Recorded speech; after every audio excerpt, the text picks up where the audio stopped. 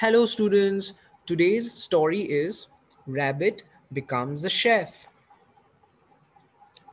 Every day, I eat only raw carrots, Rabbit said to herself.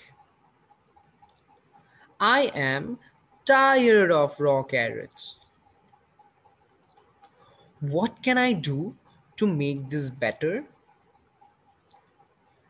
That afternoon, she went to farmer's house and saw a pot boiling over the fire.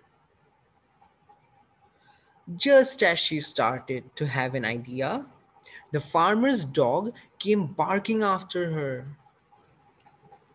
Hmm, thought Rabbit. What should I do now?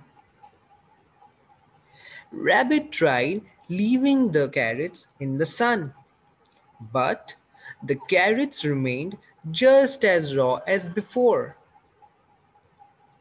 Then she tried putting them in the fire. When she tasted them, they were bitter. She thought and thought and thought about what to do. Finally, she had an idea. First, she found an old tortoise shell then she collected some sticks and three stones. Hooray! Rabbit finally had a way to cook her carrots. She was so excited that she invited all her friends.